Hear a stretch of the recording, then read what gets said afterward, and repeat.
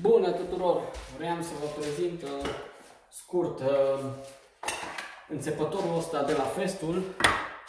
Îl avem așa, uh, cu două role, de fapt sunt patru role uh, care se învârt simultan.